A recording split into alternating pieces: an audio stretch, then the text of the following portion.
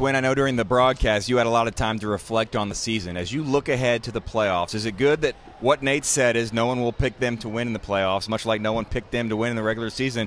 It's still a something to prove attitude in the playoffs. I think that's exactly why this team was so good. You had so many guys on the team who had something to prove, and it would be a natural position for you to chase. You know what I'm saying? So you're chasing after the championship instead of having having people chase you, and I think that is something that the Pacers would be okay with. But in that act, you're going to be the most aggressive of the two.